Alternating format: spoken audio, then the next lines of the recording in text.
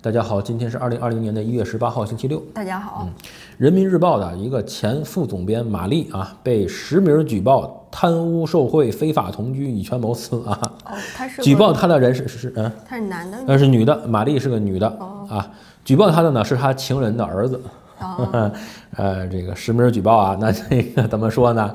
那百分之九十九就是真的，对吧？那你说这个，对吧？你要看是谁举报的，对吧？好吧，马丽呢是原人民日报社呢副总编，第十二届全国政协委员啊。呃，然后咱们准确说一下呢，一九五四年生生人，安徽呢滁县人，一九七零年呢就当兵了，服役了五年，在部队里服役了五年，后来呢这个退役复员。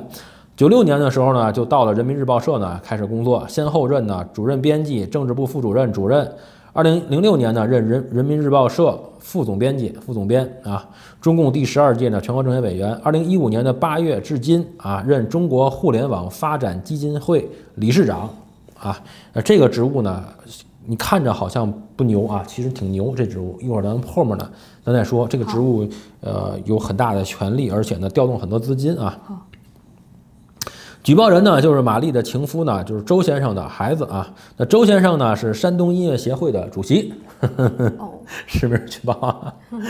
然后呢，马路玛丽呢住在万寿路甲十五号院的六区，和原先呢和周永康呢是一个小区啊。说怎么回事呢？北京市叫什么海淀区万寿路甲十五号院七区是省部级以上官员的这个居住区，反正那附近吧都是这个。呃，就都是什么周永康啊，像他们这个啊，什么省部级啊、副国级啊住的，知道吗？是由武警呢来站岗的，不是保安，是武警啊，武警站岗都是高官住的啊。然后呢，玛丽呢与这个周先生呢，就他这个父亲呢是战友关系，就以前他不当兵的时候嘛，是战友，等于是旧情人、老相好。这不知道后来多少年了吧？这个玛丽的前夫呢死了，她前夫呢还是个著名作家，我们不说名字啊，人人人人人都过世了，咱就不说人家了，好吧？咱就说他他吧，他跟这这个这周先生吧，俩人呢就是人原先呢在部队里就就要好，后来呢隔了这么多年呢，这玛丽的前夫死了，想起来这旧情人了，俩人呢反正就就搭个上了就。旧情复燃，定云复燃。然后呢，这玛丽呢，让他这个父亲呢，与他的这个妻子呢，也就是举报人呢，周先生他妈呢离婚，承诺呢，只要这个父亲离婚，父子呢都给去北京呢安排工作。他母亲呢也受到了威胁，后来担心呢这个玛丽呢对他儿子不利，于二零一八年的三月呢就离婚了。他的儿子说呢是被逼离婚的啊。然后他现在呢举报呢玛丽呢以权谋私，说什么呢？他呢给他父亲呢在这儿安排了工作，是在这个就在他不是中国互联网发展基金会的理事长吗？让他父亲呢在互联网这基金会呢，呃任呢一个什么那个编辑，还在呢什么深圳的奥萨医药呢等多个公司呢挂职。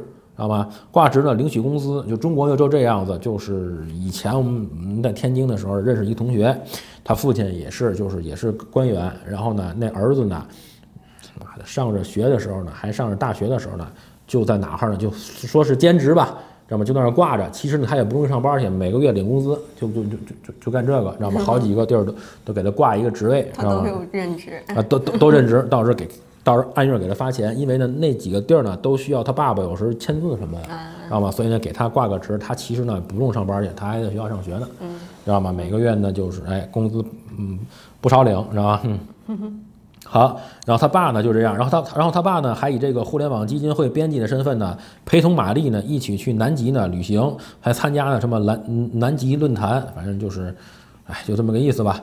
然后说呢，这个玛丽和他爸呢倒是呢也没有结婚，为什么呢？因为玛丽现在呢还在位，是副部级，现在属于啊，怕影响到他的这个政治前途。然后呢，这个周先生的儿子呢，就出示了很多的视频还有照片儿的证据来证明，证明呢有玛丽家呢，玛丽家他去过玛丽他们家，他们家的那个有录像啊、照片儿，说他家里呢都是几万元一盒的什么冬虫夏草啊、燕窝之类的，都成成箱成箱的，还有各种的这个卡券儿，说这个卡券儿呢，就是说不是你想象的那么这个五百一千的，说他那个卡券儿呢有五十万的卡。啊，说有人给给送过五十万的卡，说最多呢收过两百万一张的卡，咱 就不知道了啊。反正现在中国中国中国现现在就有有钱了，有钱了，真的是有钱了，你知道吗？就是就是有钱啊。说玛丽呢出入的都是什么高级会所，一顿饭呢就吃个二十几万人民币。说玛丽一个月的工资呢才两万多，怎么这这二十万人民币的一顿饭是怎么吃的，对吧？然后呢，公司呢购买这个豪车，说这个费用上写着呢，说车费、车辆保险费呢由一家公司呢。这个老总呢给付，老总名字咱也不说了，咱咱咱尽量不要牵连太多，是吧？这这这嗨，中国这事儿，这这一曝光出来，你不知道这这这就是勾勾连的很多乱七八糟的人，是吧？咱们先咱们别对吧？咱别连根儿拔，对吧？然后呢，这个原始发票呢就交给这公司的这个这个老总，然后呢，行驶证呢交给了这个周先生他父亲，啊，就这么个意思。这车子是给玛丽买的，等于别的公司呢给玛丽买的啊。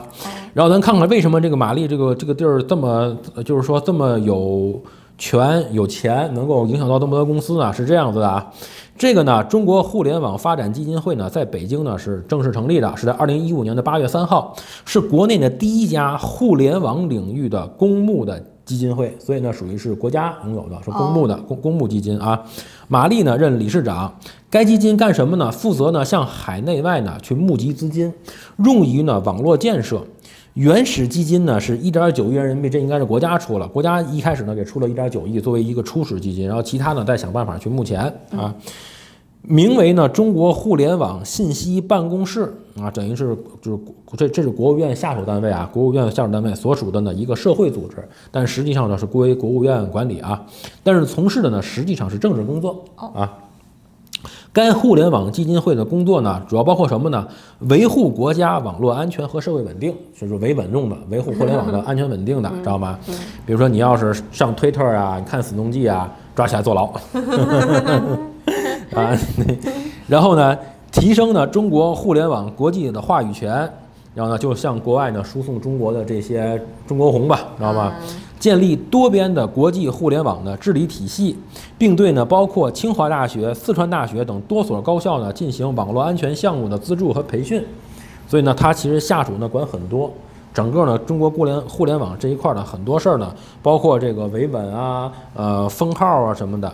说这个这个周先生的儿子要举报他之后呢，刚要一说就被人家把自己的这个电话卡、呃微信号、微博账号全部都都被封了。就是人家，因为人家专门管这个嘛，人家一下直接关，咵咵咵全给全给你的号全部都封掉注销了，啊，就这么厉害啊。然后呢，马丽负责呢国家很多的互联互联网的项目啊，如西北大凉山网络扶贫，还有呢香港的这个外交事务，是香港的国际网络的呢脸面人物，多次呢与特首林郑月娥合影，他拿出了好多照片来啊。照片显示呢，自2016年香港首届互联网经济峰会起，马丽主持的互联网发展基金多次支持在香港举办峰会，并参加香港国际创客节。马丽多次与林郑月娥见面，就在今年的一月五日，还出席了大湾区首届数据互联互通与安全发展高峰论坛。人就专门搞这个的，然后因为他是搞这个互联网这个项目嘛，那比如说要支支援什么西北啊、大连山的这个网络扶贫，对吧？就给你布网，布网的话呢，那我们基金会来拿钱，拿钱到你那儿就是是就是比如说装各种基站啊、铺线路啊，对不对？那么我跟哪个公司买呢？对不对？你比如说你给我买辆车吧，那我跟你公司买吧，就这么个意思。或者呢，我把我这情人安排在你那儿，你给挂个职什么的，就这，或者你给我个五十万的卡什么的，反正就是就是拿着国家的钱呢，说是去扶贫，但是实际上呢，在这过程中呢，就自己捞钱啊。那这个周这个网上呢，就是说周先生把他这个曝光啊，这个这个照片啊、视频呐，全都曝光出来了，都有。还有他买车的呢，这个就是买车的这些呃原始发票啊什么的，还有他去高档会所。一顿二十几万的这些收据什么的都有，你们想去看呢就去看看。不过这个东西呢，我觉得也正正常吧，正常。我中国那你说人家人家一副部级是不是？人家 哪个副部级不这样？你知道吗？你不能不能就是说中国是这样，就这个。惹惹着惹了他这个情人的儿子了，我不知道是怎么惹的啊。好像二零一八年就离婚了，到二零但到二零二零年呢，突然爆出来，对吧？二零二零一八年三月份就离了婚了，后面这两年呢，不知道跟他儿子是怎么回事儿。估计呢，他儿满足儿子的要求。我估计是这么个情况，这儿子不知道想要什么，知道吗？咱咱不太清楚啊。但是这儿子呢，自己说呢，说要曝光他之后呢，他们承诺了给他这几百万呀，给他开公司啊，给他承诺了很多，让他就不要再闹了。你知道吗？他呢也不同意，那他是想要几千万，我也不知道。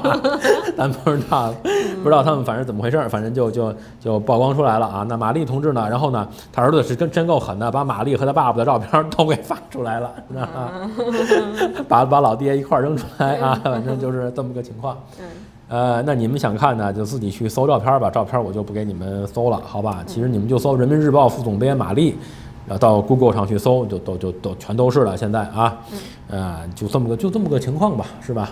你说呃说什么呢？反正是吧？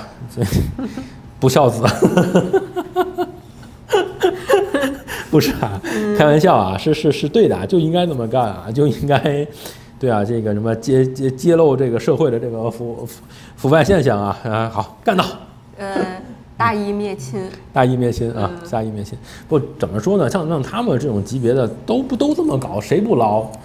我们以前认识一个那个天津认识一个，他爸就在那个医院里当个什么副院长，就玩命捞。一个小学副校长，你知道捞多少吗？嗯你都不知道吧？嗯哎，跟你说，一个小学副校长啊，我知道啊，一个小学副校长有家里有一个孩子，那孩子他呃那个就是家里有他父亲就在我们天津市搞那个就是房地产开发，嗯，你知道吗？你看给了他一个什么？给了他一套房，给了一套房，当然呢，不是说送给你的，嗯那么是卖给你的，说我卖一套房吧，我便宜点儿，按这个毛坯房按成本价给你，就按按这个建建筑成本，你买一套房，就说我不能送你，送你不算贪污腐败嘛，对不对？你是，哎，然后当时是多少钱啊？我记得好像不到三十万买那套房。你知道他那个是开发的都是那种特别贵的那种楼盘，你知道吗？你知道那房子就当时，你比如说三十万你买走了，他马上卖，你知道能卖多少钱吗？马上出手卖就能卖一百二十万，在当时在天津这么贵就能差这么多。啊？就当时那那房子一百多平米呢，嗯，当时当时还便宜呢，当时才一万多。那等于就是送给他的，呃，对对对，就三十万卖给他，卖了一成本价，等于、嗯等于等于就是，呃，就马上卖就卖一百二十万，嗯那个房子到现在都得四五百万了，那那个位置现在差不多得四万一平米了，因为那那个位置不一样，那是个特别好的位置，嗯，知道吗？所以你他们就去查位置了。就就说这事儿，就说这事儿啊，就说就就嗯你你你懂吧？就是说，你想一个小学副校长什么级别，你知道吗？副科级那最低了，你知道吗？你要那科级都是九品芝麻官，一个副科级，不过就一个副科级，一百多万的房子都能都能落下。是什么地区的副校长都小学的啊，那不行，那不行，那个天天津那个是吧不能再说了，再说了 越说越多，不能不能伤害无辜啊，不能伤害无辜，不能不能再说了，就这意思，反正你知道吧？嗯就是对对对，然后那个副院长我也 也不说了，都不能说。你，其实，嗯，你说了，他们也没法查，因为中国全部都是这样，你一查这个也对，查那个也对，不是，我能把那学校的名字说出来。